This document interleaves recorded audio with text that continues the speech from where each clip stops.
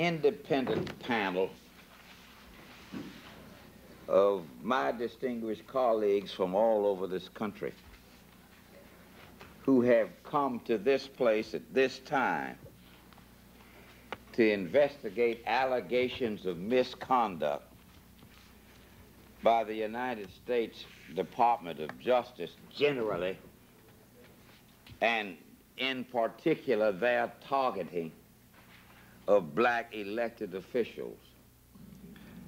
And I think it's bound to become one of the most egregious cases in the harassment and abuse of a black elected official in the history of the United States Justice Department.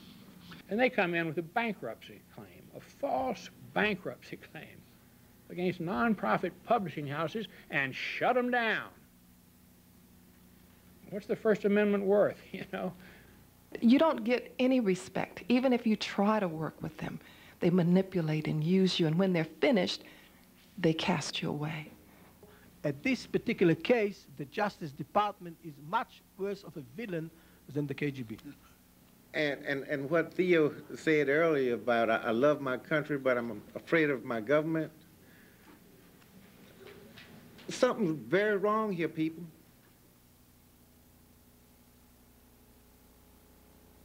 On November 17, 1993, the U.S. Sixth Circuit Court of Appeals ruled that the U.S. Department of Justice had committed fraud upon the court by falsely and maliciously prosecuting retired auto worker John Demjanjuk, a court decision which finally closed a 17-year ordeal which almost resulted in Demjanjuk's execution. Even more shocking, the same corrupt members of the Justice Department's permanent bureaucracy have been found to be at the center of many other cases in which there is indisputable proof of gross prosecutorial misconduct. When it came to getting me, it was the same apparatus that I find, in my opinion, was used in these other cases.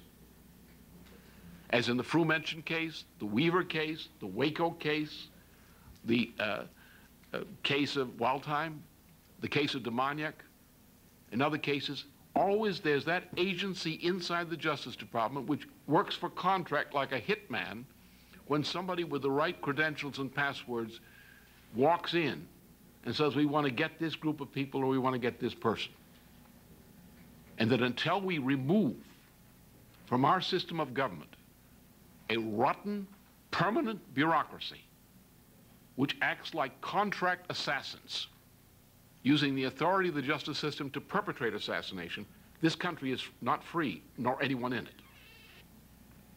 And it appears to me that this nest around Mark Richard and Jack Keeney and others in the permanent bureaucracy of the Justice Department, if they're not the heart of the problem, they're close enough to it that if you pull out that cancer, you may find out where the next one is.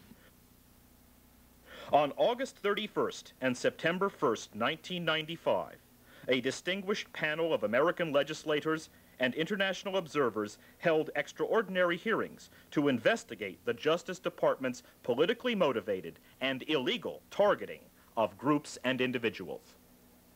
The panel included Representative William Clark of Alabama, Representative Toby Fitch of North Carolina, Senator Robert Ford of South Carolina, Senator Maggie Wallace Glover of South Carolina, Monsignor Elias El Hayek of Montreal, Representative John Hilliard of Alabama, Representative Howard Hunter of North Carolina, Representative Ulysses Jones Jr. of Tennessee, and Representative Percy Watson of Mississippi. The hearings were observed by Dr. Kofi Awoonor, former ambassador to the United Nations of the Republic of Ghana, Marino Elseviff of the Dominican Republic, Dr. Josef Miklosko, former vice premier of the Republic of Czechoslovakia, and noted civil rights leader Amelia Boynton Robinson. The hearings were chaired by former South Carolina Congressman James Mann and by Alabama's most renowned civil rights attorney, J.L. Chestnut. The first day's sessions were largely devoted to one of the ugliest stories in U.S. judicial history, the campaign to harass, entrap, and prosecute every African American elected official in America.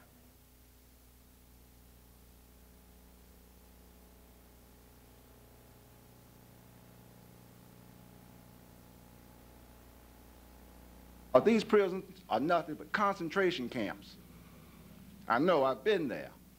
They offer nothing except destruction of the family and demoralization and dehumanizing and de-individualizing the individual who is there. Who is there. There was a famous speech by the speaker one day when he uh, declared from the podium that there would never be a day that his grandchildren would uh, go to any school with any of those niggers in South Carolina. Well, personally, uh, after many, many confrontations practically on a daily basis with the Speaker of the House, in 1973, I was charged with failure to file an income tax return, and I was sentenced to one year in jail and a $10,000 fine. I was put in jail for 23 months. I then was given halfway house privileges in Greenville, South Carolina. I was there approximately 30 days, taken out of the halfway house, placed in solitary confinement for 121 days. I could walk five steps one way and 11 steps the other, four months and a day.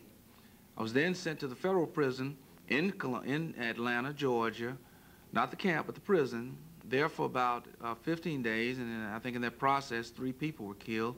Fortunately, and I received all kinds of threats because I was put in transit with three people whom I had sentenced. So the word spread that I had been on the court. Judge Ferguson has told you about the government trying to set you up with female companionship. They tried to do that to me and to my sweet mate, uh, Representative Faber. Me one day, and after I refused, him the next. They then went to Las Vegas and got an informant, someone to work for them who had a case in Las Vegas, by, a man by the name of Stan Bailey, to come to Compton to date me in 1991 to 1992. This is a man I thought loved me. I was supposed to marry him. We were engaged, but he was an informant. You've been a judge, and you know that the courts are not there, really, to dispense justice. I agree with that. They are there to keep in power those in power. The That's quo. always been the case. Some judge tell me about this is a search for the truth. I said, the hell you say? You, I, I, I've been in trials for 35 years. We've never been looking for the truth. In fact, what we've been doing is running from exactly. the truth. After being elected in 1985, I personally was ordered from 1985 until 1992, each year. And this is one of the things that happened in Mr. LaRouche's case. You have the government shopping for a venue, mm -hmm. you know. And when you have no case, you have to resort to tricks and, and uh, manipulate the system. I want you all to know that whatever and whenever these proceedings generate, it is something that has never been done before to tell the story of the African American and certainly the African American politician. And now the time has come for you to hear from some of us who have suffered the pain, the indignities, and humiliations and the destructions of our families, our professions, and our businesses. As a public official in 1982, the Alcohol, Tobacco, and Firearms Department, which some of us are familiar with with Waco, Texas, and the Branch Davidians, conspired with the Ku Klux Klan to set up and to have me charged with violating the Food Stamp Act of the United States of America. This resulted in a trial which the FBI records reflect that they knew that the Ku Klux Klan had been after me since 1979. I went into the legislature in 1975. I vigorously opposed the death penalty in 1977. And as such, as quoted from some of the redacted areas in this statement from the FBI, the Klan wanted Mitchell out and that he better watch his back. I am proffering this to this institute, to this tribunal, for whatever purpose. In 1994, in my race for lieutenant governor, as I indicated, we were doing quite well. In a statewide race that I was the only black candidate. And after a run off and a poll projection, it showed that I was a very viable candidate to possibly be the next lieutenant governor of South Carolina. I was hit between the eyes with a ton of bricks from something that had happened six years prior to this race. A client of mine who had been induced to plead guilty for selling drugs. I had represented him in 1988 in the purchase of some real estate. Not being familiar with the pattern of the federal government, after being told by the purchaser that they would pay the taxes, we did not file a Form 8300s, $10,000 or more. Consequently, they reached back and they threatened to charge me and two former secretaries with money laundering and conspiracy to commit money laundering.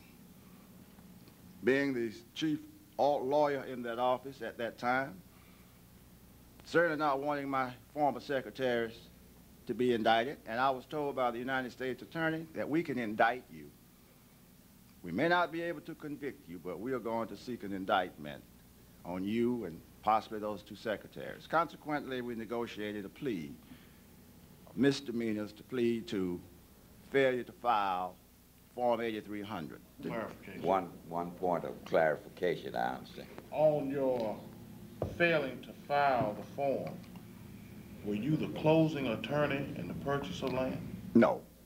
What? I was the closing attorney in 1988 for a seven installment transaction for a man who bought $154,000 in property. And he made payments he was to have made the payments uh, to uh, the uh, seller. But ironically, since I closed the loan, he put down $25,000 in cash. And I raised the question, don't you have a check? He said, I keep my money under my mattress. The bank messed me up. Consequently, that was my position to ask him where he got his money. If I had known Joe Willis, the guy in the Ku Klux Klan, was setting me up in 1982, I sure hell wouldn't spend any time with him.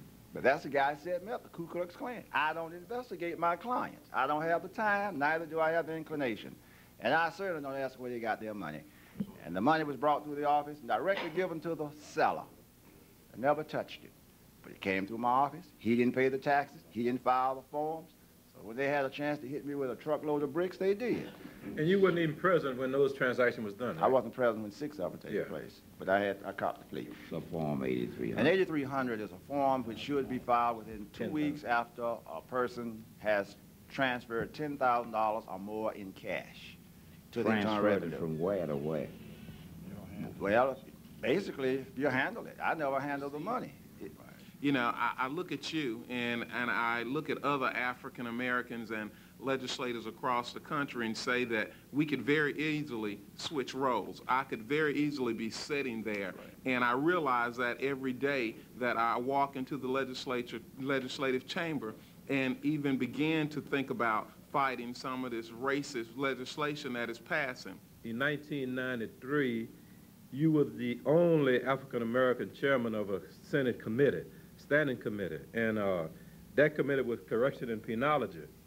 One of the things that you was able to do as chairman of the committee was to stop a lot of legislation, mean-spirit legislation, uh, from going on the floor of the Senate. Matter of fact, we killed it in committee. I served on that committee with you along with Senator Glover when, whenever she get here. One of the things the Republican Party wanted to do in 1994 was to pass those uh, legislation. Uh, two strikes, three strikes, you out, truth in sentence, and all kind of stuff. And so what they did they stacked the committee. Um, before you was ousted, they stacked the committee. Something like maybe of the 18-person committee, must have had about, I think, 11 Republicans on it. Uh, people like McConnell, who would never, you, you would never expect to be on that committee when, if you was chairman. So what happened after they stacked the committee, their, their plan in 1994 was to pass mean-spirit legislation pertaining to your committee, correction and penology. And that was the whole thrust of the 1994 session. So you had to be expelled. Uh, these individual cases and individual things naturally uh, interest us all. But if I had been convicted of a felony, I would have had the opportunity to have had a hearing, to have gone to committees, and to have had the ethics committee to have heard and made a recommendation. Now, this is a felony. I pled to misdemeanors. These were misdemeanors. And I wasn't given due process or equal protection. I was summarily drummed out. I wasn't given the opportunity to be heard. Consequently, had that been, I believe, someone who was of a different color, uh, I don't believe that an effort would have been made to have removed them, notwithstanding the fact that uh, Senator Ford is right. Uh, the no parole, and all of this great tough, mean-spirited legislation which came to our committee, uh, you can see the racial overtones in it. It was just clear, just like a newspaper. So consequently, we put out what was fair legislation, and we resisted and held up that which we felt was inequitable and unfair and certainly mean-spirited. Uh, we feel good about our heart. We were told that if we had resigned the chair, we may well not have been expelled, but we feel that we're qualified to be senator, we're qualified to be chairman. Consequently, I was expelled, first in the history of the South Carolina legislature. I'm glad to see you express the desire or, or the feeling that it happened to you because you did something. and I guess we all, both Hilliard and, and Jones and I both looked at it from the same standpoint. Kind of skirted it and dressed it up originally. and I just want to make sure that this record is clear that if you go and you do nothing, you're a good guy. But if you go and you make a ripple in the water, that's where you have the problems. I was uh, one of three who were the first three blacks elected to the South Carolina House since uh, the Reconstruction period.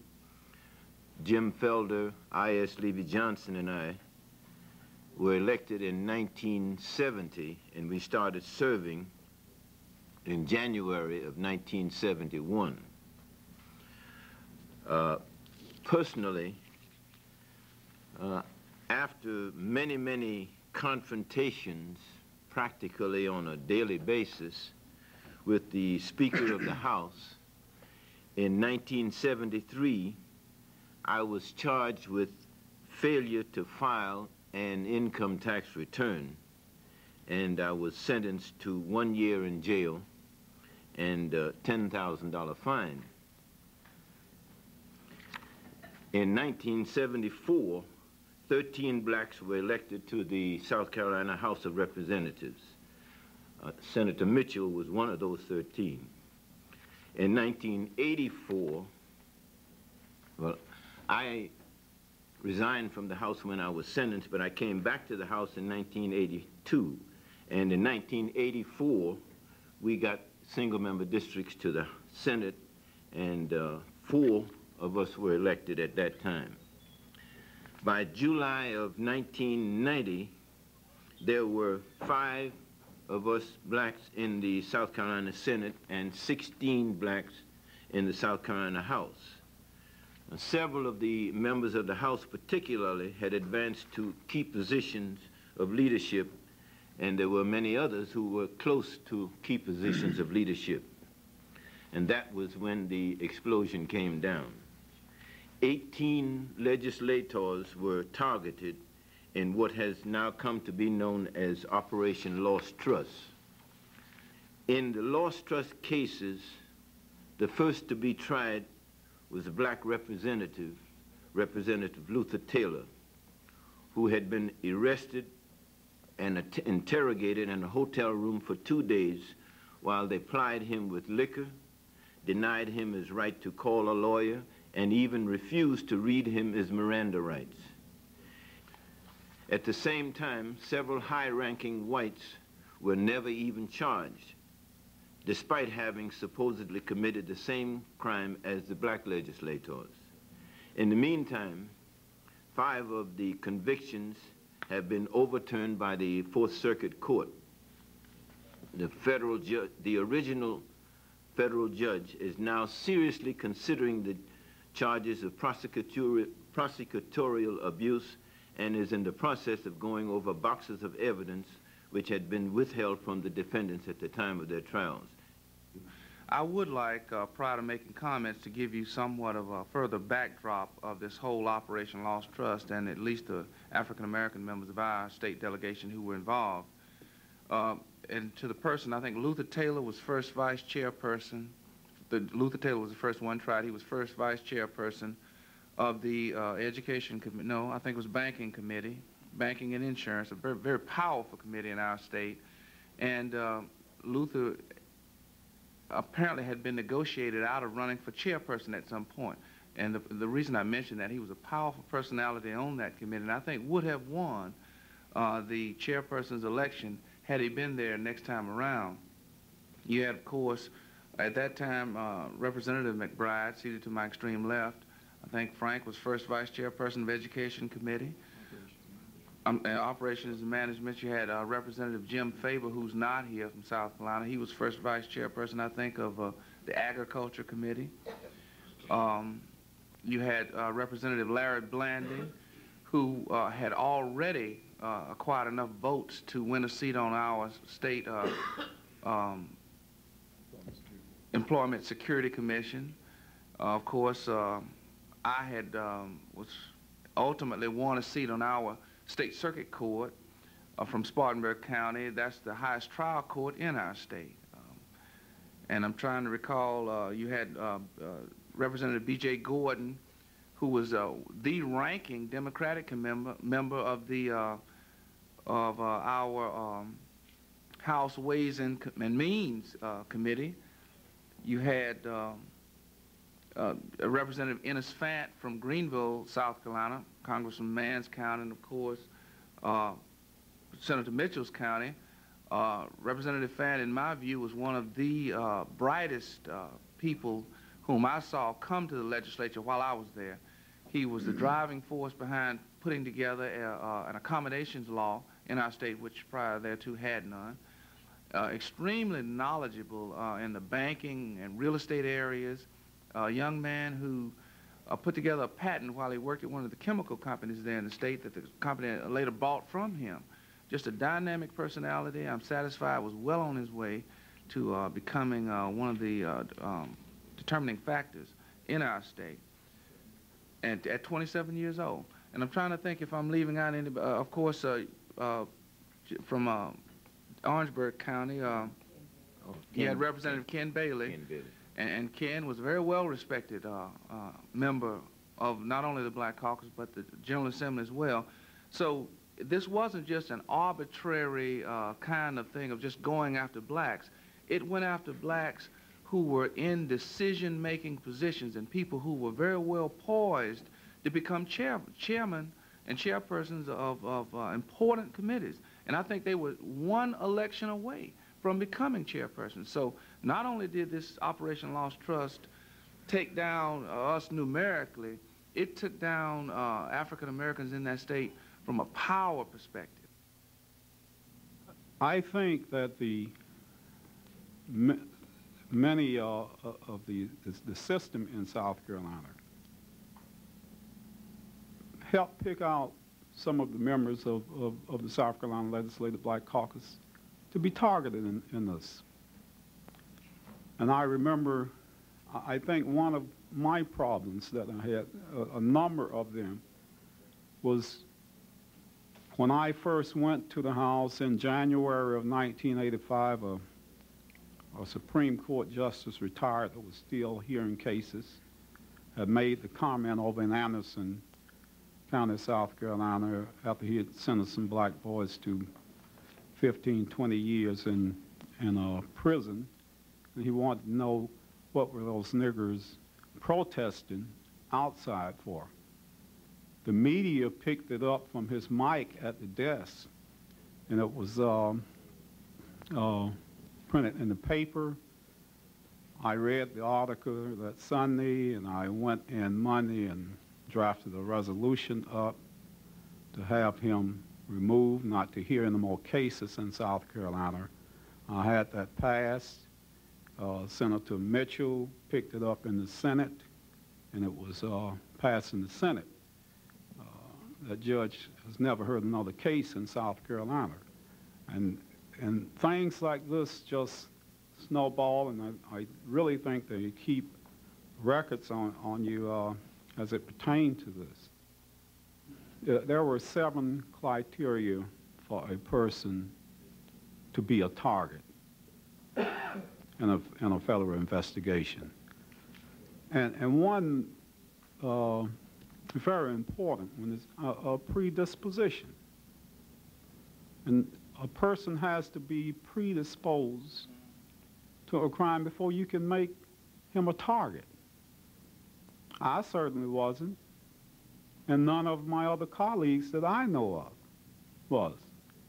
So the, the government, government was definitely wrong here in, in targeting many of us without us being predisposed to a crime.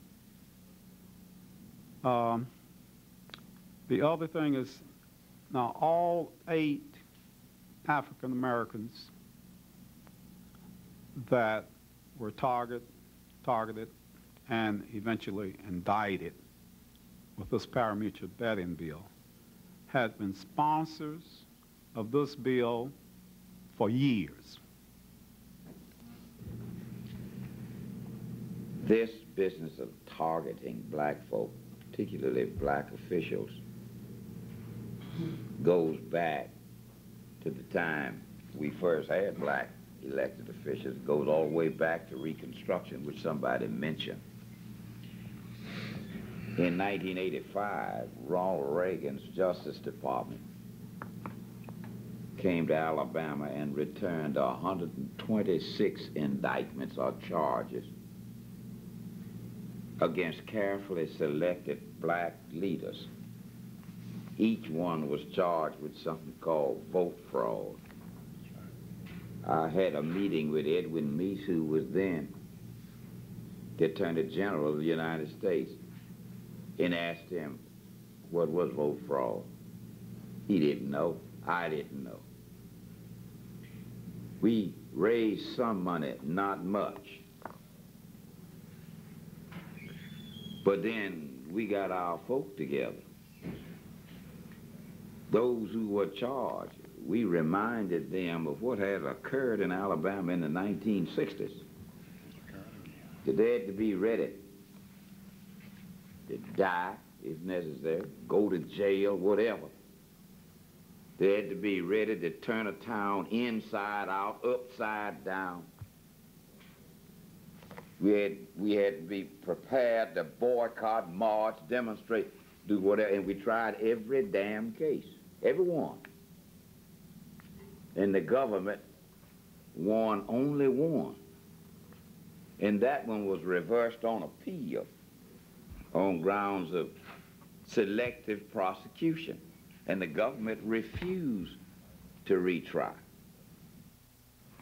The, the effect of what they do is so devastating. It's so far reaching. It destroys our hopes, our dreams, our promises. If this isn't stopped now, because it should have been addressed when Congressman Dymally back in the late 70s, early 80s introduced this to the Black Caucus and into the congressional record. That the Operation Frühmenschen was an official policy of the FBI and what it does to people, black people especially. If it would have been addressed then, if black people across this nation, especially black leaders who had been victimized, if they would have put support, put money, because he tried to open a center for harassment against black elected officials, but he couldn't get support. If this would have happened, then these men and myself would not be here today. This would not have happened to us. Members of the panel, uh, I've been asked to present uh, to you an overview of the case known as the United States of America versus Harold E. Ford. Uh, one could say that Congressman Ford's travails began almost immediately upon his upset victory over a very popular Republican congressman, been representing an almost majority African-American district. Fourth case I submit to you, panelists, will be an essay on prosecutorial misconduct. And I think it's bound to become one of the most egregious cases in the harassment and abuse of a black elected official in the history of the United States Justice Department. Congressman Ford, panelists, represented, rather weathered a 10-year ordeal of government abuse and harassment. The attack first surfaced in 1983 and continued to the 58-count indictment on various bank fraud charges on April 24th of 1987. Then to the first trial on February 12, 1990, which ended in a mistrial after 22 days of testimony, 29 witnesses, 150 trial exhibits, 110 pages of jury instructions, and 12 hours and 35 minutes of jury deliberations, and several hundred thousand dollars by the congressman. The congressman was retried in April of 93 in Jackson, Tennessee, outside his home county and congressional district. In the second trial, he was acquitted of all charges, notwithstanding the government's overwhelming efforts and wasteful spending of several million dollars. Now, without a real case, it was incumbent upon the government to manipulate the system to try to get a conviction. The government's next ploy was to start a media campaign against the congressman about not getting an unbiased jury. This is after they had sought to get a biased jury in the first case by moving the trial to East Tennessee. At the conclusion of the first trial, the government then renewed its effort to get a biased jury again. And with the help of the judge, and I respectfully submit this was a black judge, uh, succeeded in getting a change in venue. So this went again to the Court of Appeals of the Sixth Circuit. The government's motion? Yes, sir, absolutely did. And you, of course, you know, we a lot of us were chagrined by that move, but Yeah. uh, it did occur, and the Sixth Circuit. Who, who appointed, who appointed it? Was that a Bush. appointment? Bush. No, it was No, no, this was uh, appointed by President Carter, and Recommended by. recommended by by Congressman Harold Ford. You gotta be kidding. Nope. yes, that's what it. And uh, uh, this case, uh, of course, the move was challenged very vigorously. It went back to the Sixth Circuit, and of course, those of you who are attorneys knows that the Sixth Circuit is one of the most conservative circuits in the country, and the move was sanctioned by the Sixth Circuit, and the Supreme Court rejected the appeal. So here we are back uh, for trial again in second trial. Uh, the jury, the, the case was moved again uh, to, uh, uh, to Jackson, Tennessee. And this is what I think, and this is one of the things that happened in Mr. LaRouche's case. You have the government shopping for a venue, you know. And when you have no case, you have to resort to tricks and, and uh, manipulate the system.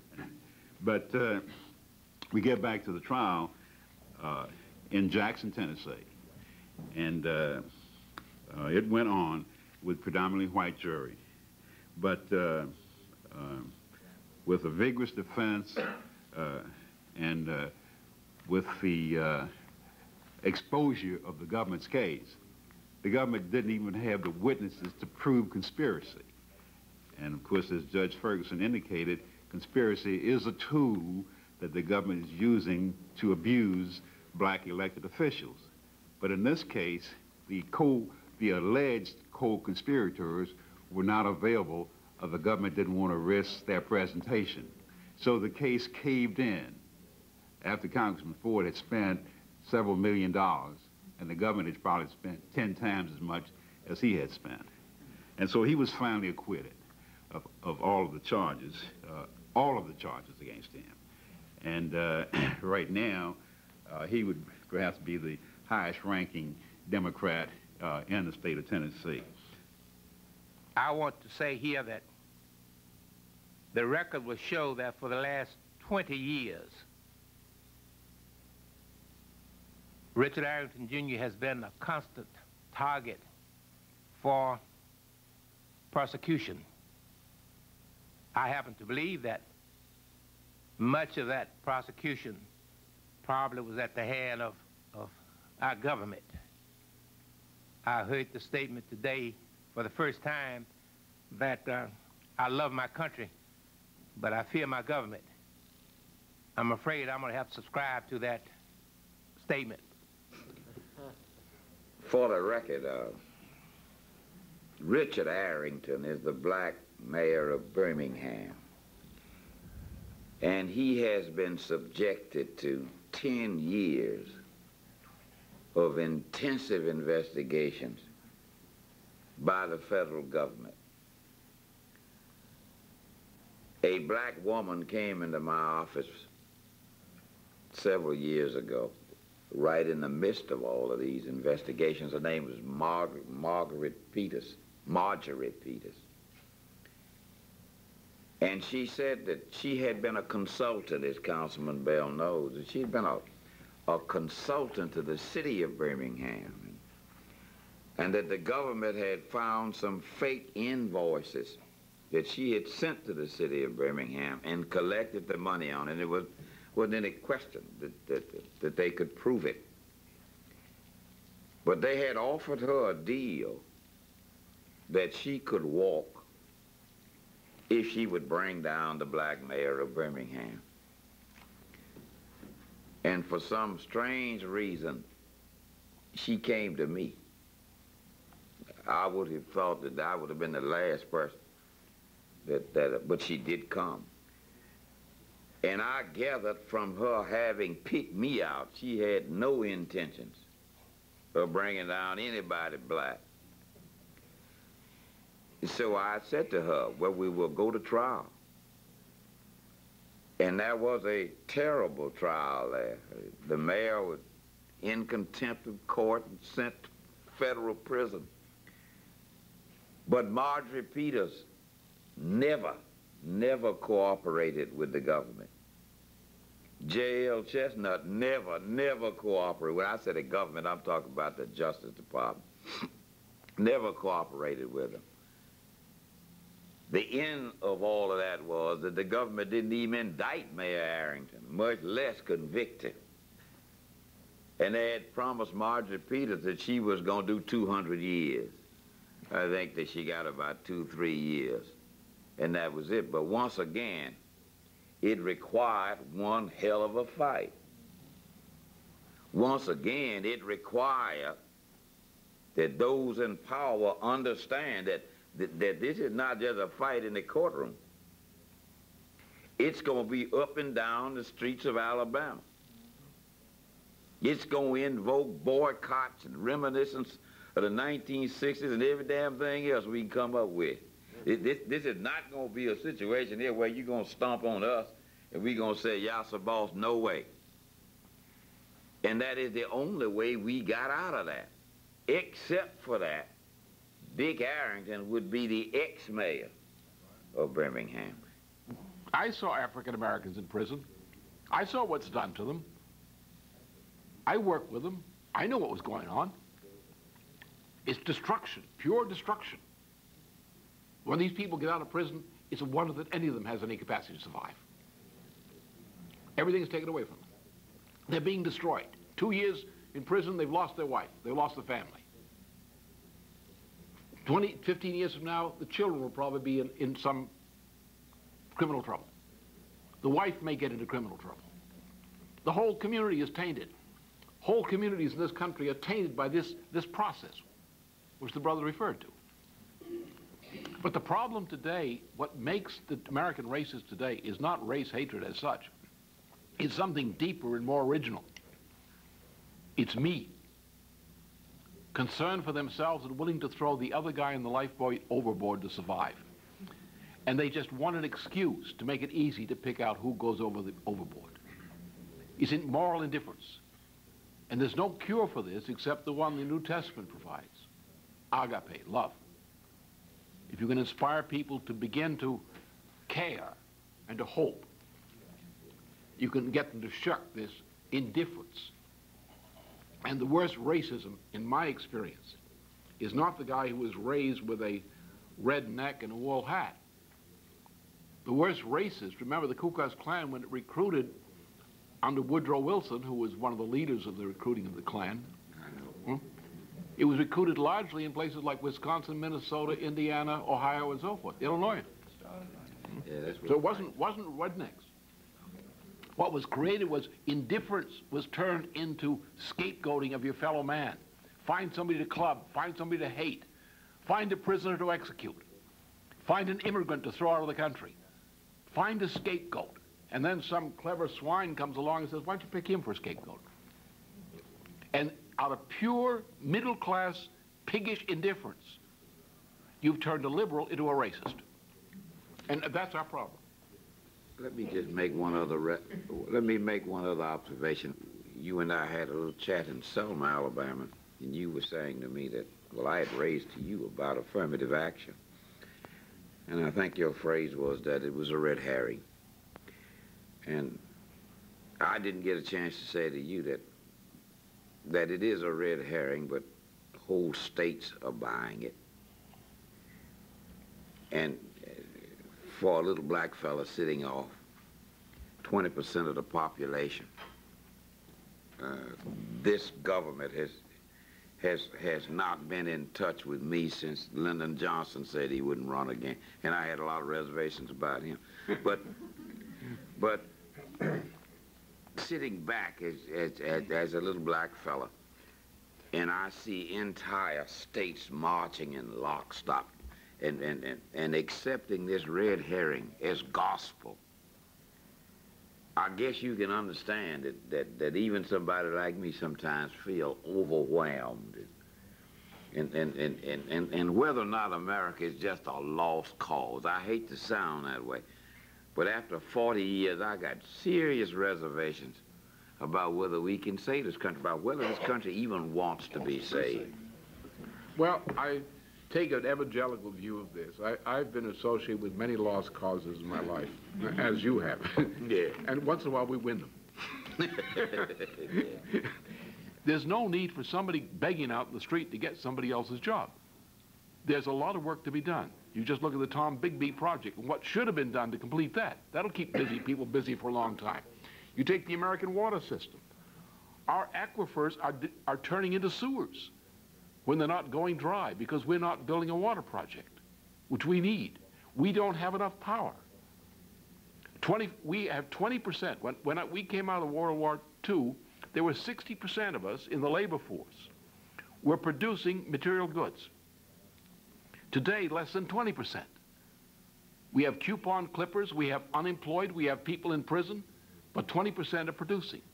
We, our standard of living in the United States today, in physical terms, if you include health care, education, science and technology, plus the things you physically consume, we're half of what we were 25 years ago. We're about that in productivity. This nation is going down the sewer. The world's going down the sewer. We have the means, and government has the means, to turn it around. When enough people in this country stand up on their hind legs and stop voting for what they don't want or for a result they don't want. And I think that if the problem with people, as I see it, is people don't trust the leadership, and I don't trust, I don't blame them for not trusting their leadership. I blame them for being too pessimistic. And it's up to us and others to get enough people moving to create a movement. Like the case just of Martin Luther King. Now, I never personally met Martin Luther King, but I watched him closely. And I know something about Martin Luther King from people who knew him and his circumstances. And here's a man who's a good man, is a preacher, Baptist preacher, I don't know. they run to this way and that way. but one day somebody appointed him, nominated him to be a leader of the civil rights movement out of a crowd, so to speak. He took the job as an appointee, like a federal appointee, only this was a civil rights movement. He went from crisis to crisis in a few years from the time that he received that appointment until he went to his death, knowing he was facing death. And in that period of time, he made a number of public speeches of great power and pith. Each of those speeches corresponded to a point of crisis in the history of the civil rights movement. And I saw on television, and I read in the recorded speeches, I read a man who had gone into private, into his own Gethsemane, probably inspired by reading the New Testament, and said, I will drink of this cup. And he came out with an idea with a lot of people swarming around him. But he came out with the idea. And he presented a concept which took a whole people who were looking to him in the civil rights movement. And he ennobled them. He said, You're not fighting for African American rights, you're fighting for everybody's rights. You're fighting to make the Constitution real. And it was a new idea, a different idea. And as he did with his mountain speech that he gave just before he went, again, a man who had walked into Gethsemane and said, Yes, Lord, I will drink of this cup as my Savior before me. And he went out and he drank of the cup and he inspired people. Now, we don't know who among us is going to be the great leader of this period. But we know as the civil rights people of the 1960s who had been in the civil rights business for many centuries, in point of fact, many of them of the conscious family tradition. They assembled together. They picked people from their midst as leaders. And among these leaders was a Martin Luther King. And I think if enough of us assemble today around these kinds of issues and show the nation that there is something moving, something which is of concern to the average citizen, that from among those we gather, together for that purpose, we will find the leaders we need.